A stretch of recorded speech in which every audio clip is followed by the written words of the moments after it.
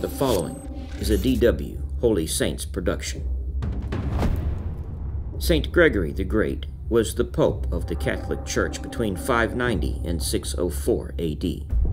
An Anglican historian stated, It is impossible to conceive what would have been the confusion, the lawlessness, the chaotic state of the Middle Ages without the medieval papacy. And of the medieval papacy, the real father is Gregory the Great.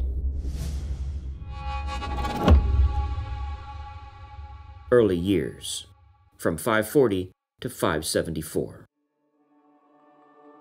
Gregory's birth took place around 540 in Rome, which had recently been reconquered by the Eastern Roman Empire from the Ostrogoths. He was born into a prosperous noble Roman family that had strong connections to the church. His father, Gordianus, held the prestigious positions of senator and prefect of the city of Rome. He also had a role in the church as a regionarius, although not much information is available about that particular position. Gregory's mother, Sylvia, came from a respectable background and had a sister named Pateria, who was married and lived in Sicily. Both his mother and two paternal aunts are revered as saints in the Catholic and Orthodox churches.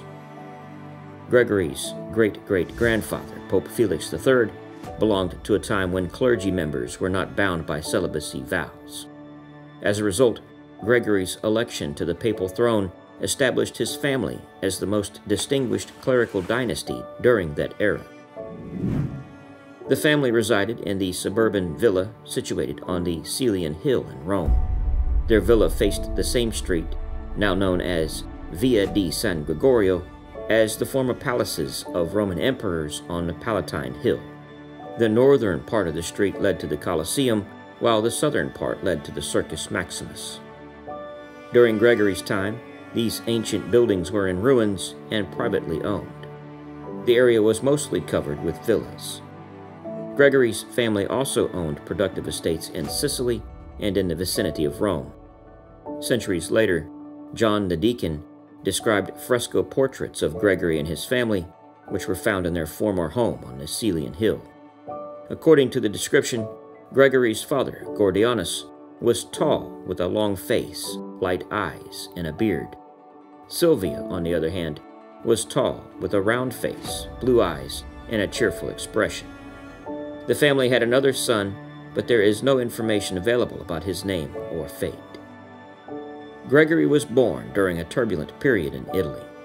The plague of Justinian, which began in 542, spread throughout the empire, including Italy. The plague led to famine, panic, and even riots. In some parts of the country, more than a third of the population perished, resulting in profound spiritual and emotional effects on the empire's inhabitants. While the Western Roman Empire had already vanished, replaced by Gothic kings ruling over Italy, Justinian I, the emperor of the Eastern Roman Empire, based in Constantinople, gradually regained control of Italy during the 540s. As most of the fighting occurred in the north, it is likely that the young Gregory had limited exposure to it.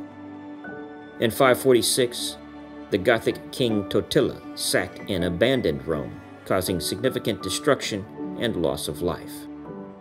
However, in 549, he invited the remaining survivors to return to the empty and ruined city.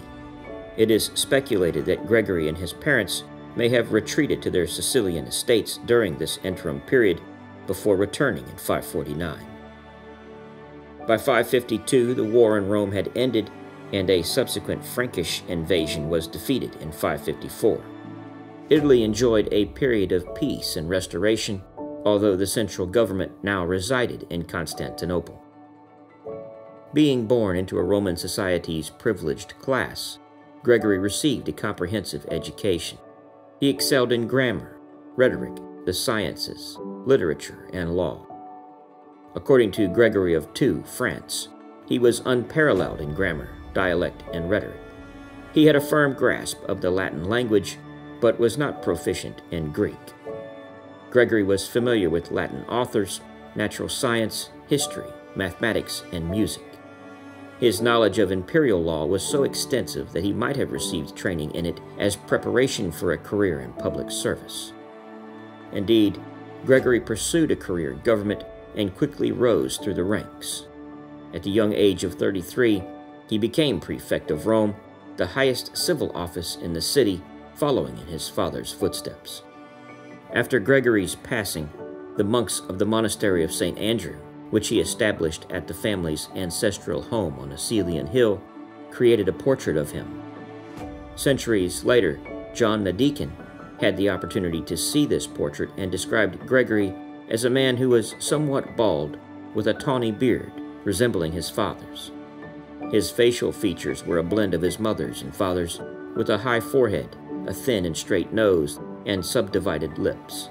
He had a prominent chin, and the sides of his hair were long and carefully curled.